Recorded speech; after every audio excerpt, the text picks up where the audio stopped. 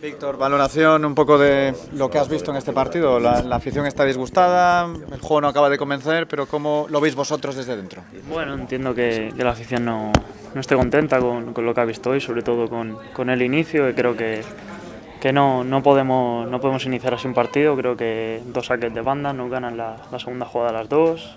Eh, luego hay dos rechaces, eh, perdemos otros dos rechaces y al tercero meten de cabeza y luego a partir de ahí pues ya vas a, a, remolque, luego sí que es verdad que empezamos a jugar mejor, conseguimos el empate y bueno, creo que no hemos hecho un buen partido pero al menos hemos sacado un punto de aquí. Víctor, eh, hay momentos donde el equipo parece que le cuesta trabajo mover el balón, especialmente de, banda a banda, ¿no? Hoy te veíamos encarar y, en algunas jugadas conseguir, ¿no? Eh, sacar ventajas, has cansado de pedir el balón y no, no acababa de llegar.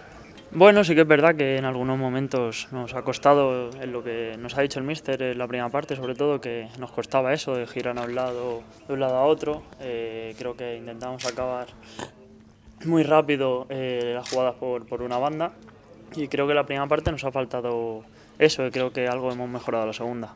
¿Qué le pasó al equipo un poco, eh, sobre todo en el tramo final del partido, la sensación de que, de que faltaron ideas en los últimos, los últimos minutos para intentar llevarse el, choque? ¿no? Sí, puede ser ideas o bueno, no llamaría ideas, llamaría nerviosismo, que el nerviosismo y las ganas también de, de sacar los tres puntos. Creo que hemos venido aquí a, a sacar los tres puntos y lo que, lo que he dicho antes, que la afición entiendo que no esté del todo contenta porque tanto ellos como nosotros pensábamos que nos íbamos a llevar los tres puntos, de hecho hemos venido a eso.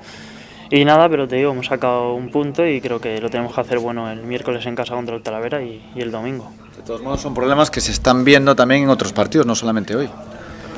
Eh, bueno, estamos intentando mejorar cada día, creo que, que, los entrenadores son buenos, estamos mejorándose en cosas, y que es un equipo que hay bastantes jugadores nuevos, nos tenemos que adaptar a, a jugar todos juntos. Y nada, yo creo que, bueno, pedir disculpas a la afición también y, nada, y espero que, que, el juego pueda mejorar, que estoy seguro de que sí.